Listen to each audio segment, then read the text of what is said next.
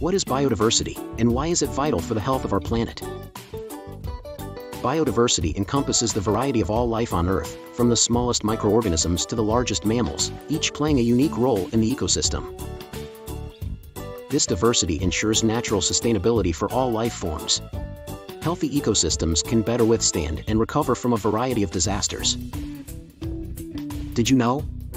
Biodiversity not only supports ecosystem function and resilience but also directly provides resources for food, fuel, and medicine. However, human activities have significantly threatened biodiversity. Habitat destruction, pollution, and climate change are among the leading causes of biodiversity loss. Protecting biodiversity is not just about preserving nature, it's about securing our own future as part of this intricate web of life. Understanding the significance of biodiversity is the first step towards making a difference. If you want to learn more and help protect the diversity of life on Earth, please subscribe for more insightful content.